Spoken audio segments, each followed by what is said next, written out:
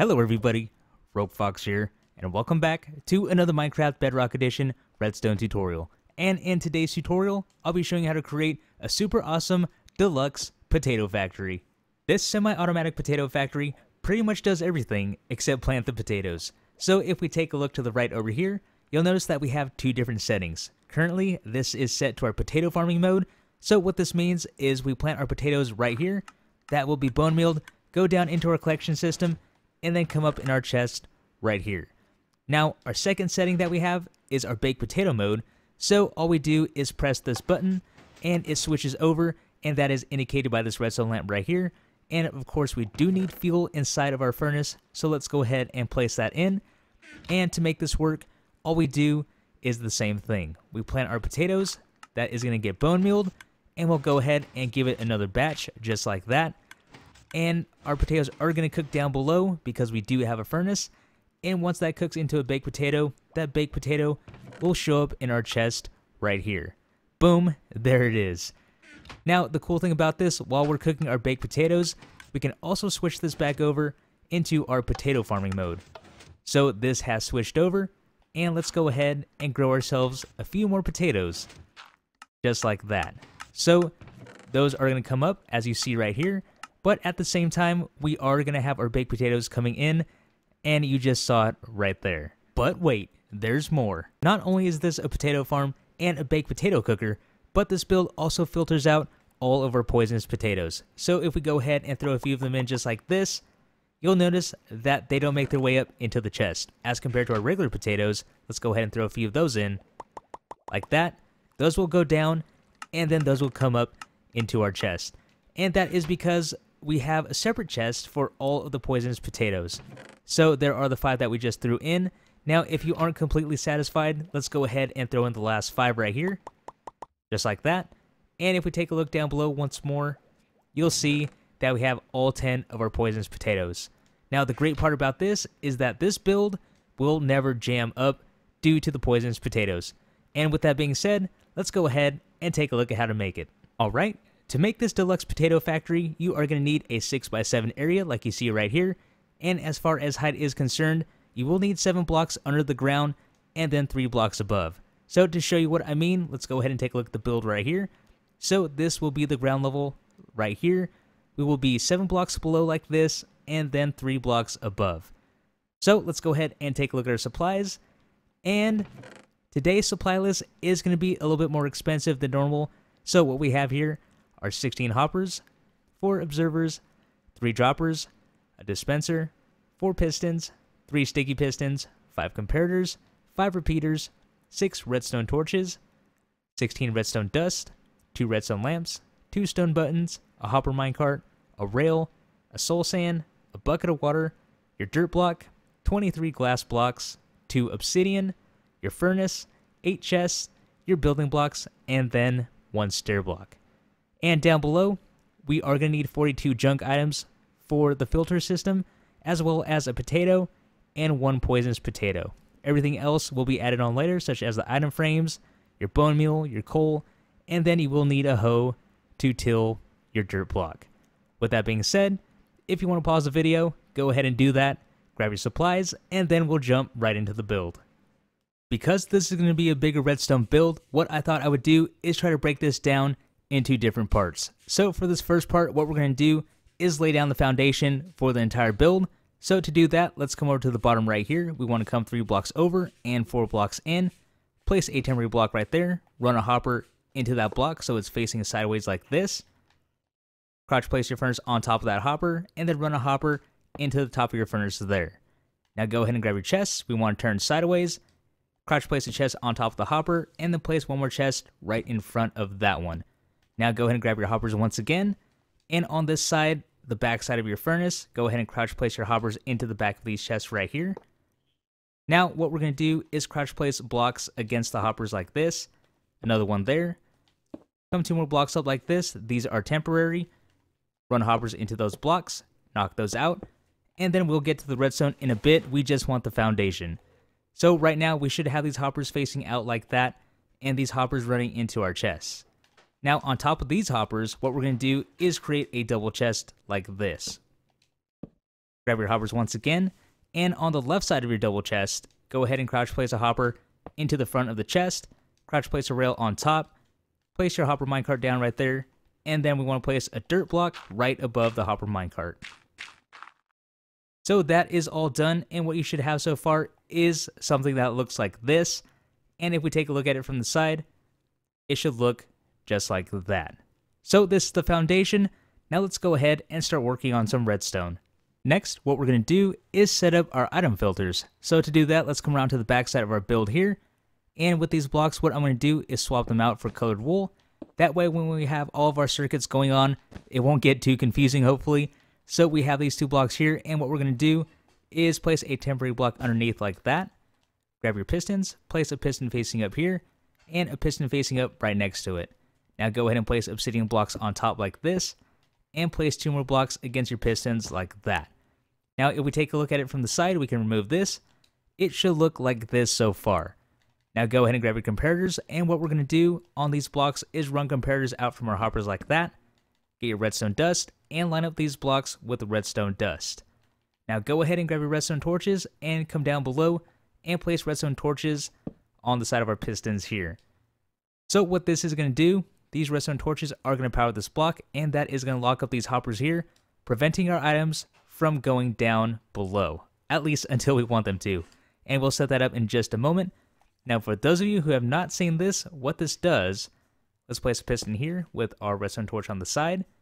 Once this gets powered, this torch is going to invert, but you do see we get extension with our piston, as we normally do. But to prevent that, we place obsidian on top, we power it, this is still going to invert, but our piston does not extend, allowing us to place redstone dust on top, as you see right here. So hopefully that makes sense so far. Now let's go ahead and place in our items for the filter.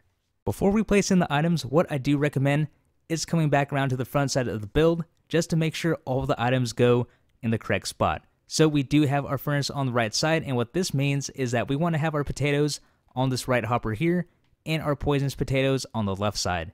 So to set this up, let's go ahead and open up this hopper. And in these first three areas, or the last three, we want to place five items. One, two, three, four, five. Five here. And we want to place six in this slot right here. So one, two, three, four, five, and six. Now go ahead and grab your potato. Place one potato right there.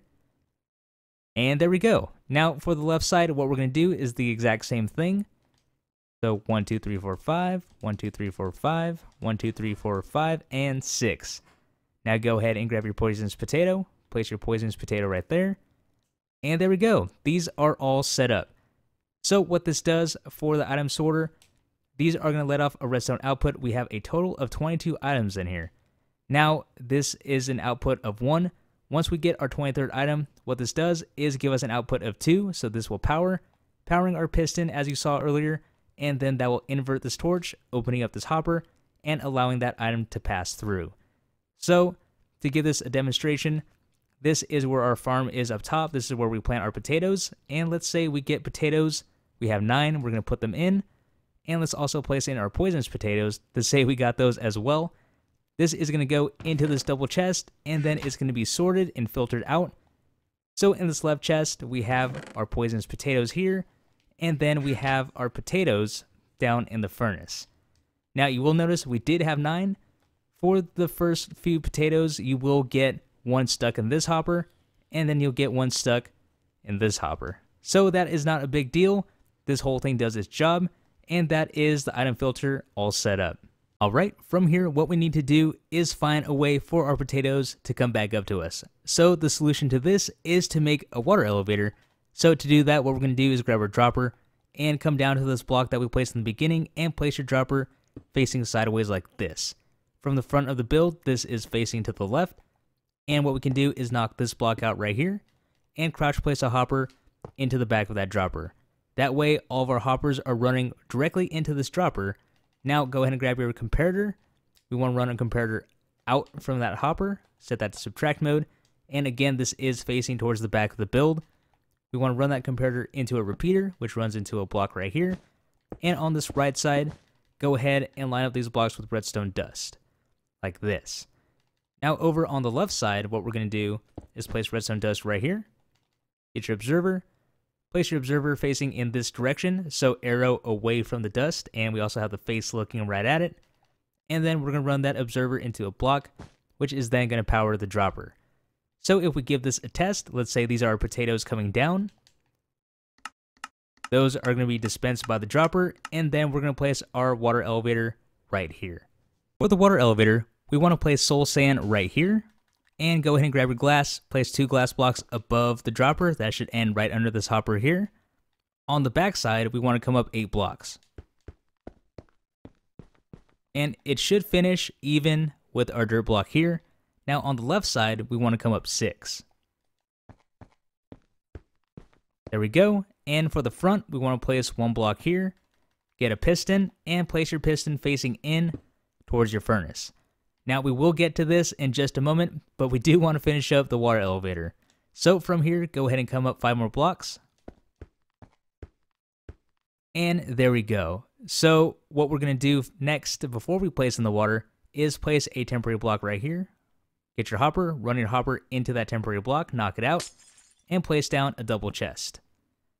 So that will be the collection system right here.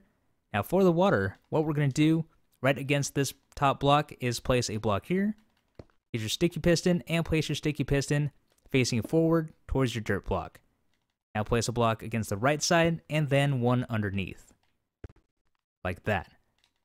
Now, what we're going to do is grab our water bucket, and we are going to waterlog this piston here. So go ahead and look at it, place down your water, and you can see we do have our source block right here running down, and this will also keep our farmland hydrated.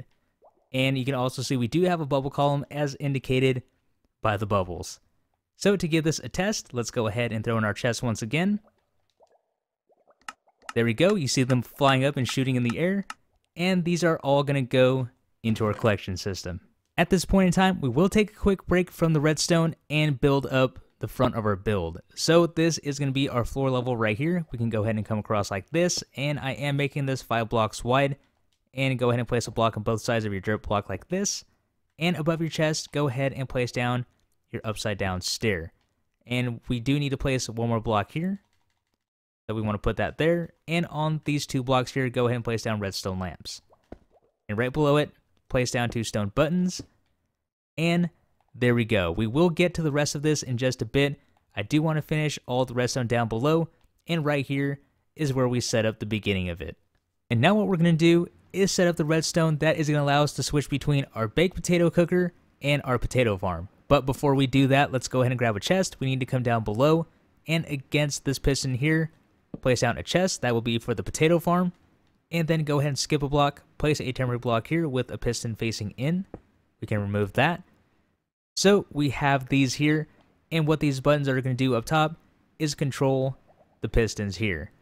Now what we're going to do is grab ourselves some sticky pistons, come right underneath those two blocks right there, place two sticky pistons facing down like this, grab your observer, and place your observers facing in this direction, so we do have the red dot facing towards the front of the build. Now what we're going to do is set up our RS NOR latch. So we want to place a temporary block right here, block there, block there, knock that out. Get yourself your droppers and place a dropper facing in and then another dropper facing in towards that one. So these are looking at each other. And what I did forget to mention in the supply list was to bring a non-stackable item to put inside the droppers. There we go. So I do apologize for that. And from here, what we're going to do is place a block like this with our comparator running out. So right now it is detecting the item inside this dropper here. And then over on this side, go ahead, temporary block, block out. We're going to place a comparator right there. So to give a demonstration of what the RS NOR latch does, because I'm not quite sure how to explain it, hopefully the visual aid will help a lot better. So again, we do have the item inside this dropper, which is being detected by that comparator. So to switch it over, what we need to do is press this one. That's going to extend our observer down, powering that block, which is going to power that dropper, and spit the item over into this side. So you can see this is now lit up because our item is over here. And to switch it back over, we press this one. And there we go, that's how this circuit works. Now that you know how the RS NOR latch works, let's go ahead and apply the circuit to our pistons. So what we want to do is run this comparator into a block, and then we want to place a block against that piston with redstone dust on top. So that is powered, our piston extends, and over on this side, what we want to do is place a block here, a block down against the piston, and redstone dust on these blocks. So that is all wired up, and if we go ahead and press this button here for the baked potato, that is going to switch over, and then of course, as you just saw, we press this one, it's going to switch back over to that. So that is done, and now what we need to do is wire up our redstone lamps. To wire our redstone lamps, what we're going to do is come down here. We want to come a block out like this, place down a repeater, run that repeater into a block, temporary block here, a block out, and then a block up right there. And on this block, go ahead and place down redstone dust. So we should have this little pattern like that. Now what we're going to do is create a redstone torch tower. So on this block, place down a redstone torch, a block above that torch, torch there, block, and then what we're going to do is place a torch facing in this direction. And then go ahead and place one more block above it, and one more block to connect to the redstone lamp. Get your redstone dust and line this up. And there we go. There is our first lamp wired up. So this will be connected to our potato farm. And then what we're going to do to switch this over is simply place a redstone torch right here. So at the moment it is inverted, but once we press this, that swaps over. Our redstone signal inverts, and this allows this torch to turn on, powering this redstone lamp. So there we go. There's a switch, and back to our baked potato. Now that we've finished all the redstone down below, it is finally time to place in the potato farm. So to do that, what we're going to do is place a temporary block right here with our observer right there. So we have the arrow pointing up with our face looking at the dirt.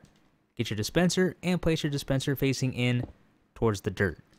Now place a block right here and then on top place down redstone dust. So this part is pretty simple. We plant our potatoes, our observer detects that, that is going to fire our dispenser and grow our potatoes. That's going to detect the growth and keep going until it is finally done growing. Now what we're going to do on the back side is set up a timer for our piston to fire after our potatoes have fully grown. So to do that, let's go ahead and place a block on top of the piston, block here, two more blocks out like that, and then a block down. Get your repeaters, place two repeaters here, set both of those to four ticks, redstone dust here, and redstone dust right there. Now get your last repeater and run a repeater into that block and set that to 3 ticks.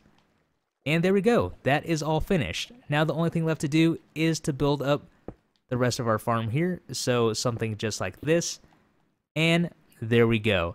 Now, I will admit, our chest for our coal was an afterthought because we have all this redstone going on down below, so what we're going to do is grab our hoppers, run a hopper into the front of our furnace here, a hopper into that one, and then we're going to go ahead and run hoppers all the way up to our floor level. Now, if you want to make a ladder and do something else, you can totally do that. And then we place a chest on top, right there, and then we fill in the rest of our floor. So there we go, there is the farm all set up. Now all we need to do is place in the final touches. For the final touches, all we need to do is till our dirt here, and I've already placed bone meal inside, and then, of course, we do need to figure out which one is which. But we do know the inside is for the furnace, and if you aren't sure, you can take a look down below. And while we're down here, what we need to do is run one more hopper into that hopper there. So the reason for that is once we switch this over to our potato farm, our furnace is now here, and if it's cooking potatoes over on this side, we still want them to go down into our collection system. So that is why we do that, and I totally forgot to mention that so again, I do apologize. There is a lot going on here. So, I mean, I think I did pretty good so far, not messing too many things up. But let's go ahead and test this out. So this is set to our baked potato mode, and so we know what's going on here. We place a baked potato here and a potato right there. And we do need to put in our coal still, so that is going to filter down, just like that. And then we can go ahead and start planting our potatoes. So as you saw in the beginning, that is going to grow and go down. Let's go ahead and give it another batch. That's going to go down. And then if we take a look down below, there is our furnace. It is on. And then if we take a look up here, we should be getting our first baked potato. So there is the first one.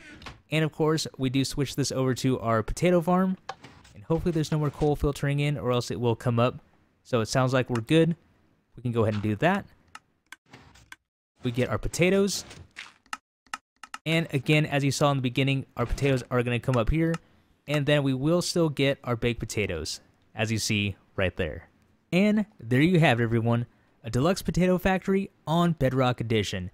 I know this ended up being a big build, but it does feature everything that I wanted it to have. Of course, we do have our two separate settings here. We have our baked potato cooker, and we also have our potato farm, and then we have the redstone lamps to indicate which one is active. And then of course down below, we do have our poisonous potato filter, which I feel like is lacking from pretty much every potato farm out there. Once you get a poisonous potato into your system, it completely jams up the farm. So I feel like this was a mandatory feature that every potato farm should have, so we added that. And on top of that, we have all of our fun little redstone circuits down below, which was really fun to put together. So this is one of my more elaborate designs, and I am really pleased with the way this came out. With that being said, this is the end of today's redstone tutorial. I really hope you guys enjoyed. This has been Rogue Fox, and I'm out. I'll see you later.